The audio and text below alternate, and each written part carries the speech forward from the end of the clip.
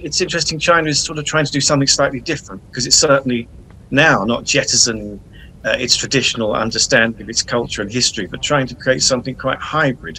So I suppose that's its contribution that modernity has been seen before probably as something quite uniform and maybe standardized. If you have it in one country, you kind of have to copy that template in others up to a certain degree. I think China's trying to do something which is probably quite unique in terms of underlying belief systems and also the sort of shape of modernity and how it uses traditional ways of thinking. Because, of course, in China, uh, history is extremely rich and complicated and deep.